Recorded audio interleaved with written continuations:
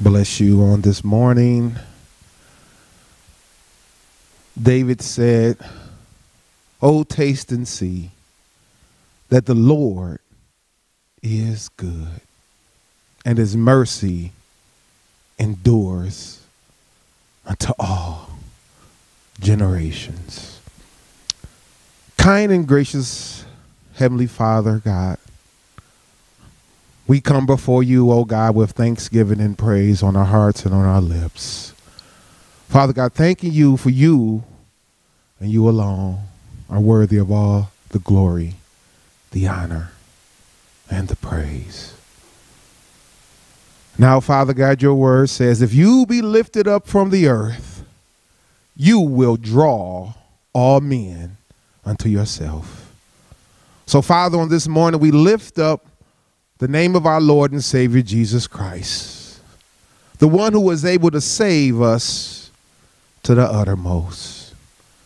Father, we ask that you would send your Holy Spirit even right now, that it will go before us and that will bust up the fallow ground. Father, I ask you to anoint these lips of clay on this morning. Father God, I ask you to hide me behind the cross of Calvary that your word may go forth without distraction. Father, also I ask you to touch the ears of the hearers on today. Father God, we come against every deaf and dumb spirit, oh God. Every spirit that tries to hinder this work on today. Father, I ask you to bless your churches, your, your ministry that's going around the world even right now. Father, we ask for a fresh outpouring of your Holy Spirit on this morning. For, oh God, we need you now more than ever. Father, we thank you and we praise you. We give you all of the glory and we give you all of the honor. It's in Jesus' mighty name that we do pray. Thank God and amen. Amen. Well, so good to stand before you guys and to be in the house of the Lord one more time in the land of the living. Thank God for our pastor and our leader. On today, we ask God to continue to touch him and keep him in your good and perfect will. Father, we also ask you to touch Pastor Crampton on this morning. Father God, you said you sent the word and they were healed. So, Father, we speak healing in the mighty name of Jesus. Not only over Pastor Crampton, but for all those who may be ailing on today, physically, mentally. Oh God, we know that you're able to do all things but fail. And we also know that there is not nothing too hard for the Lord. Amen. Amen. Amen. Well, I won't be before you guys too long. Uh oh you know, you got to watch out when, preachers say they won't be before you too long. Usually they may be a little bit long. But I just pray that the Holy Spirit will have his way in me on this morning. I ask that I would decrease and that God will increase on this morning. I wanted to come to you today and talk about the subject. He came to set the captives free. Jesus came to set the captives free. Um, so about almost, I would say maybe 15 years ago, maybe a little bit longer than that, like I'm getting old. I was on my way to church with my kids. And um, on that morning, Holy Spirit gave me a, a scripture to read. And the scripture was found in uh, Luke, the fourth chapter. And it was life transforming for me. I mean, the Bible says the word became flesh and dwelt among him, us. And so the word has to become a part of us for it to be real. This word is live, it's active, it's powerful than any two edged sword. And so on this morning, the Lord had that morning, the Lord gave me a particular scripture as I was on my way to service with me and my children. And my second oldest girl. Now she was the youngest girl at that time. Uh, she had um, basically gave me the same scripture that the Lord had gave her, but she gave it to me from the Old Testament. And so before I get ahead of myself, I want to read the Word of God, and then I'm going to come back to uh, what happened that day. So today we will be starting, we will be reading from the book of St. Luke, the fourth chapter, and we will start at the 14th verse. And the Bible reads as follows Then Jesus returned in the power of the Spirit to Galilee. And the news of him went out through all the surrounding regions. And he taught in their synagogues, being glorified by all. So he came to Nazareth, where he had been brought up. And as his custom was, he went into the synagogue on the Sabbath day and stood up to read. And it was handed to him the book or the scroll of the prophet Isaiah. And when he had opened the book, he found the place where it was written, The Spirit of the Lord God is upon me. Hallelujah. Woo. Because he has anointed me to preach the gospel to the poor. He has sent me to heal the brokenhearted, to proclaim liberty to the captives, the recovery of sight to the blind, to set at liberty those who are oppressed, to proclaim the acceptable year of the Lord. Then he closed the book and gave it to the attendant and sat down. And the eyes of all were fixed on him. And he began to say to them, Today, this day, this scripture is fulfilled in your hearing. May God add a blessing to the readers, hearers, and doers of his holy word. He came to set the captives free.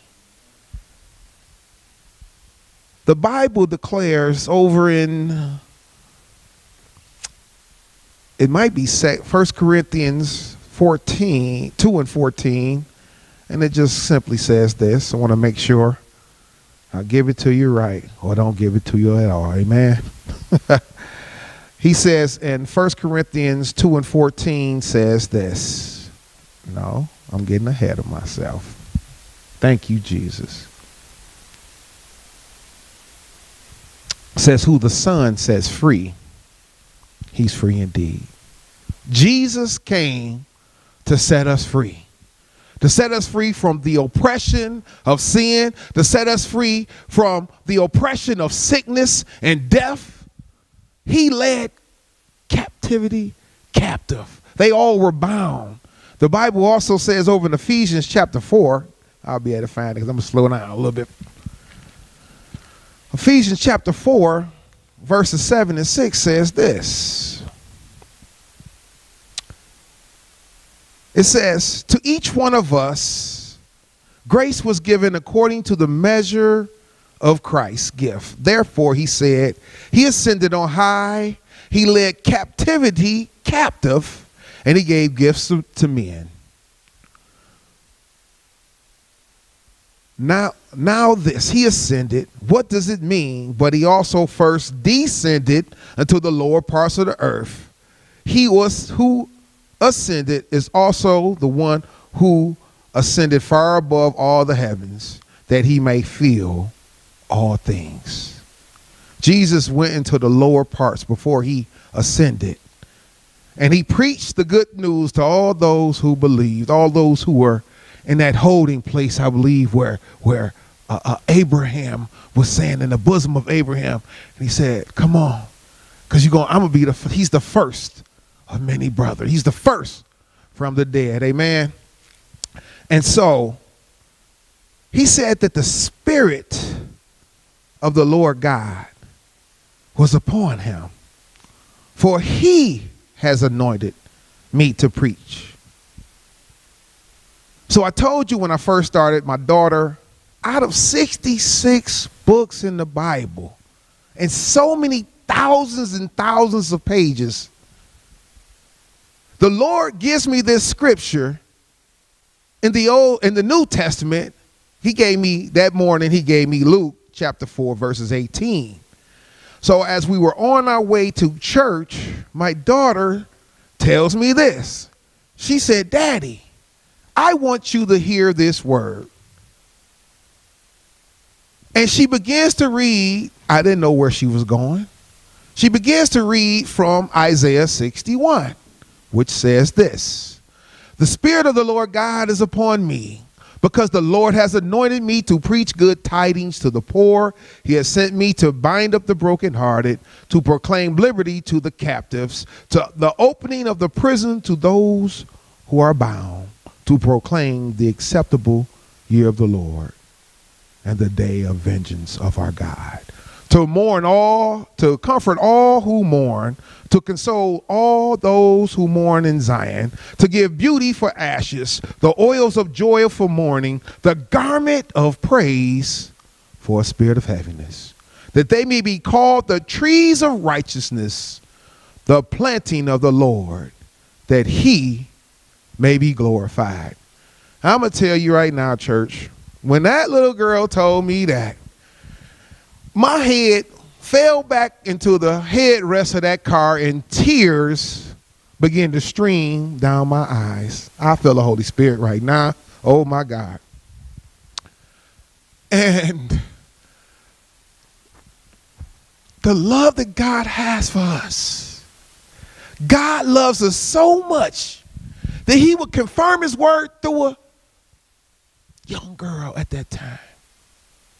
When he said he came to heal the brokenhearted, how is he healing us?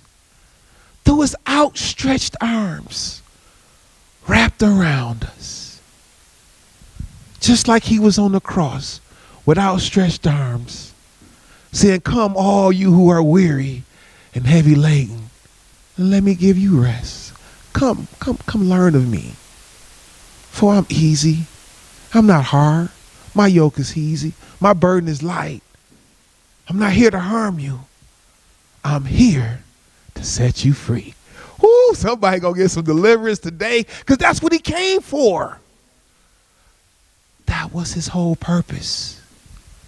In the first word of prophecy in the book of Genesis 3 and 15, after Satan did what he did, the Lord said, I'm going to put enmity between me and thee, and between thy woman's seed and between thy seed. He will bruise his heel and crush your head. Isaiah was prophesying of the salvation that was to come over in Isaiah 61. Thank you, Holy Spirit. And now Jesus picks it up. He picks up a scroll and he opens it up right at that very point, just like it happened for me. But the story didn't end there. Let me finish telling you guys. So, as I got to church that morning, there was a liquor store across the street. So, I needed to get some change. And you know, when you be at church for a long time, you need some gum. I call it church candy. so, got some church candy. And I went in the store. And there was a young lady in there who I never met. And she just came up to me. And God, through his spirit, gave me a soft heart for her. And I knew something was wrong. And the Lord allowed me to pray for this young lady inside of a liquor store early in the morning, right before church. And the girl lifted her hands up and began to cry out and to thank God. That's because the Spirit of the Lord God was in me. Not only is the Spirit in me, the Spirit of the Lord God is on each and every one of us. all those who call on the Lord out of a pure heart. He is with us. He said he will never leave us nor forsake us. He said, don't even take a script for what you're going to say. Because at that very hour, I will give it to you. It's a difference from being gifted and being anointed. We can be gifted, and that's good. But we understand that it's the anointing of God that destroys every yoke. It's the anointing of God that breaks every chain. So, Jesus, this is right after he was baptized, and the Spirit of God came upon him in a bodily form, just like a dove. And you heard the Lord voice come down and said, That is my son, whom I'm well pleased. Right after that, the Bible says that he was led in the wilderness to be tempted of the devil. Sometimes the problems that you go through in life are not because you did anything, but it's to prove who is on the inside of you. That precious flower that smells so good. But it has to go through a beating process to get the true essence of what's on the inside. That olive, the same way. Some people like them, some people don't. But that's going through this beating and crushing process that brings forth the oil. We got to be like the wise virgins. We need that extra oil on today, Lord. We don't want to go and buy, and then you come when we going to buy because we not carrying the extra oil.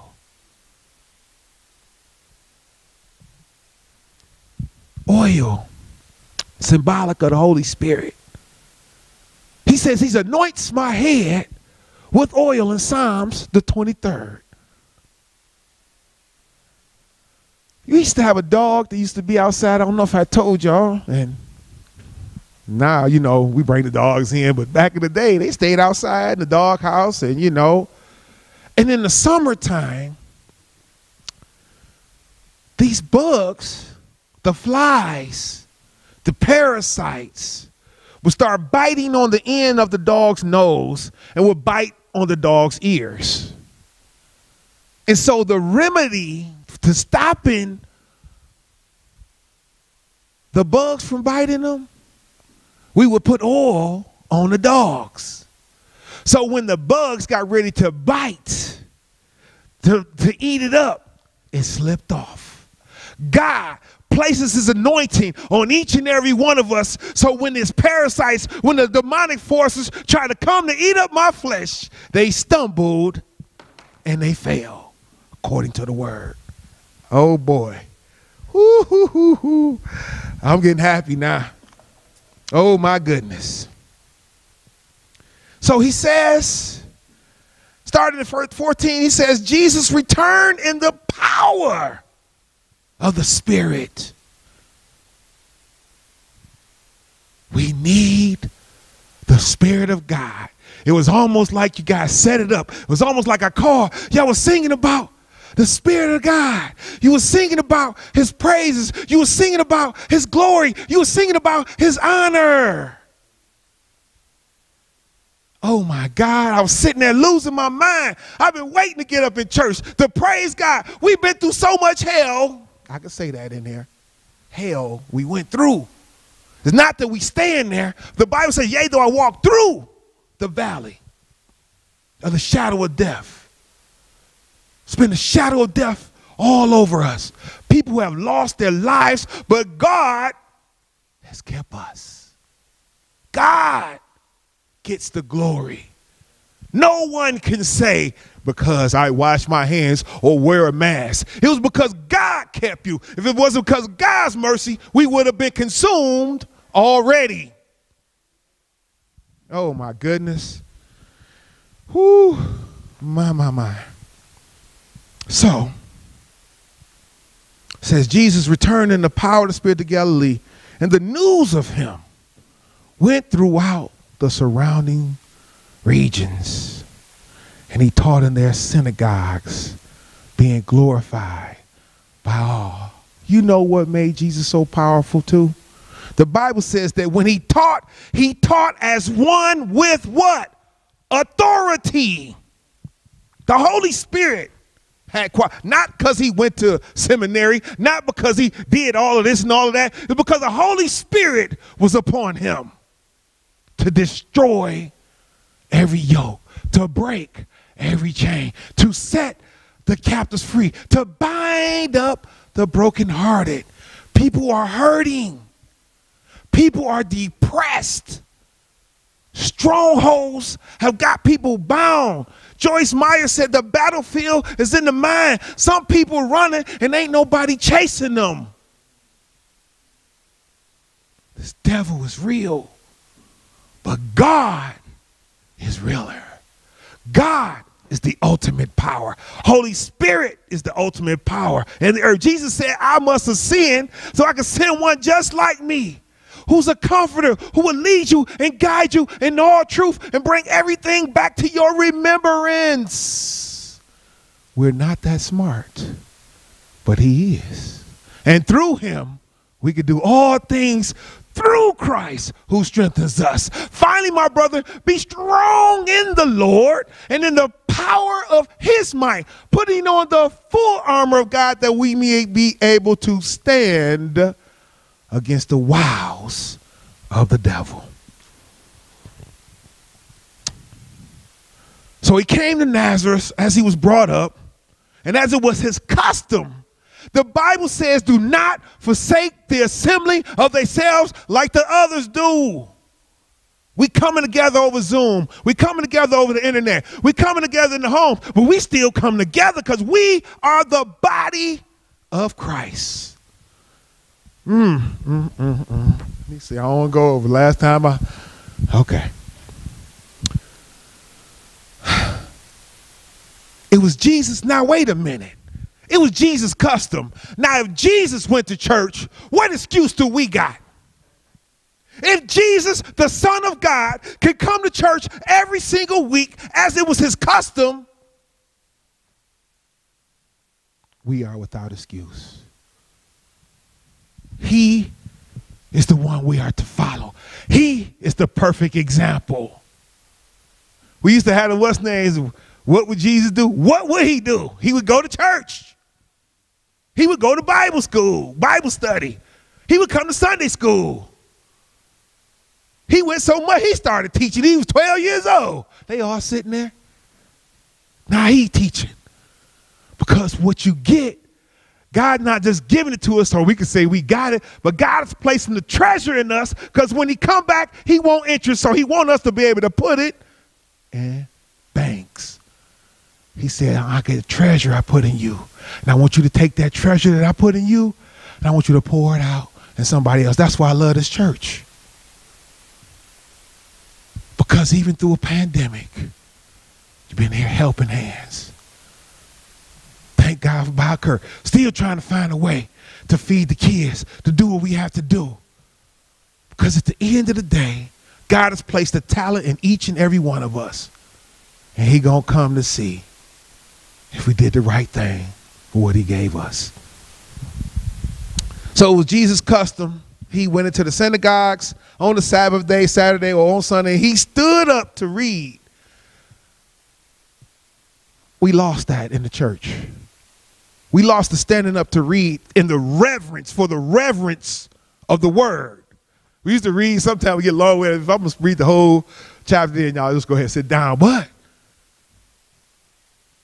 if they stood up for the reading of the word, why don't we? I'm just thinking out loud. And he handed the book of the prophet Isaiah, and when he has opened it, he handed it to them.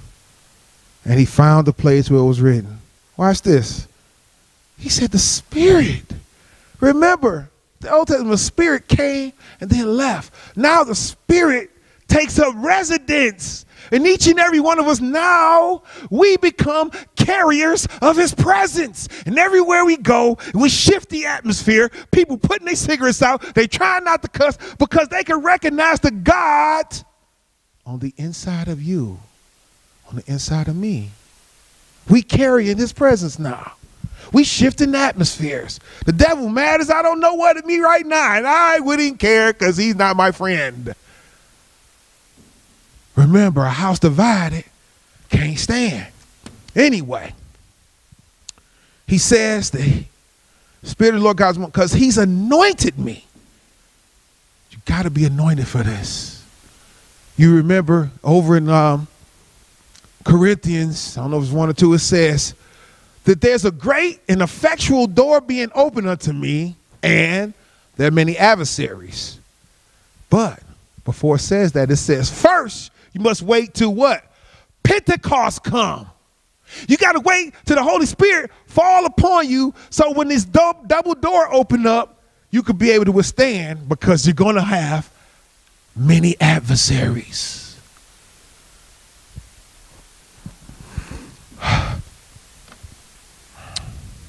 he says, He anointed me to preach the gospel to the poor. Now, let me be clear, we always got poor with us. But he wasn't talking about the poor in money, he was talking about the poor in spirit. I sent you to proclaim the good news that they don't have to pay the penalty of sin because my blood paid for it. A life for a life. The, uh, Leviticus said the blood, the life was in the what? Blood. I poured out my life for you. If I poured out my life for you, then you should be able to live for me.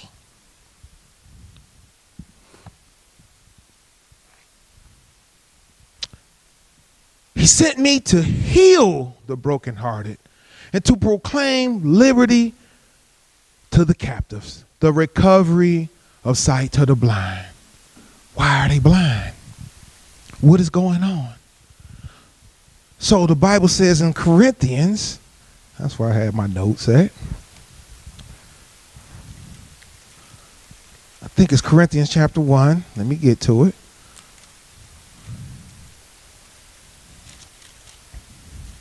I just all over the place today. Amen. So it's going to be in Second Corinthians. Thank you, Jesus. Here we go. Second Corinthians chapter 4, verses 3 says this. Uh, but even if our gospel is veiled, it is veiled to those who are perishing because whose minds the little g God of this age has blinded, who do not believe, lest the light of the gospel of the glory of Jesus Christ, who is the image of God, should shine on them. For we do not preach ourselves, but Christ Jesus the Lord, and ourselves your bondservant for Christ's sake. For it is God who commanded light to shine out of darkness, who has shown in our hearts to give the light of the knowledge and of the glory of God in the face of Christ Jesus. So he said he came for those who was blind to the recovery of sight. And you got to understand something as we preaching to them because they can't receive it is because the little g God of this world is blinding their minds. We're fighting a spiritual battle. We're not going to beat a spiritual battle with our flesh. We're not going to beat a spiritual battle doing protest. We're going to beat a spiritual battle on our knees. We're going to beat a spiritual battle pleading the blood of Jesus Christ, calling on the name of Jesus. This is how we battle. This is how we win. With our hands lifted, praising God. He said in the Old Testament, He said, I'll give you what? A spirit I'll give you beauty for ashes, a garment of what? Praise for the spirit of heaviness. Praise is a weapon. Whenever you're feeling low, when you're feeling down about yourself, don't put on that sad song. Put that song on and lift up Jesus, and now your countenance will be lifted up. Now you then lifted yourself up in the presence of God. Now you become undone because you figure you so insignificant and he's so holy. That's why I was over there crying. Oh Lord, you so holy, and I'm so messed up. But thank you for your love and your kindness and your tender mercies. Let me let me keep it going.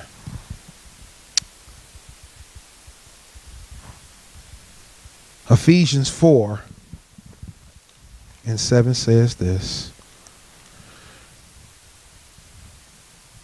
But to each of us, grace was given according to the measure of Christ's gift. Therefore, he said, when he ascended on high, oh, I think I did that earlier, he led captivity captive and gave men gifts. Now he ascended. What does it mean? But he also first descended into the lower parts. Who ascended, who descended is also the one who ascended far above heaven, that he may fill all things. It's him, and him we live, and him we move, and in him we have our being. Hebrews 4 and 7 says, Today, if you hear my voice, do not harden your heart. Don't harden your heart.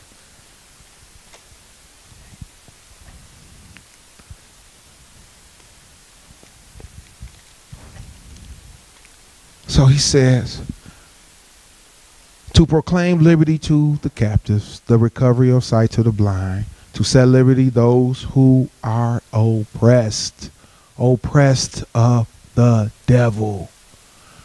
God even told uh, uh, um, the enemy, one of the enemy's biggest tricks is discouragement and fear. He wants us to, because fear paralyzes you. And they had an acronym for fear a long time ago. They used to say fear is false evidence appearing real.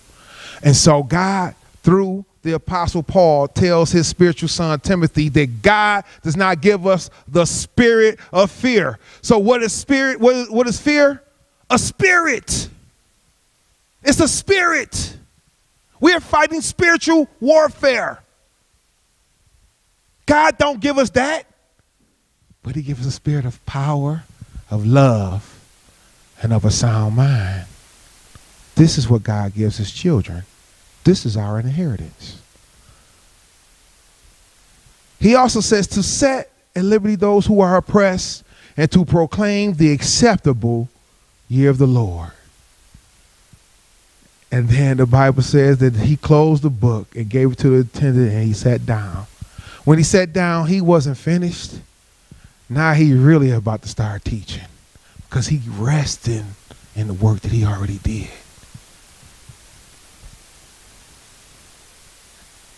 And he said to them, and was their eyes were fixed on him. That's what got me. Their eyes were fixed on him. The Bible says over in Hebrews, I think chapter 12, it says, looking unto Jesus. Fix your eyes on him. They all, after he spoke, they all fixed their eyes on him. We have to fix our eyes on him.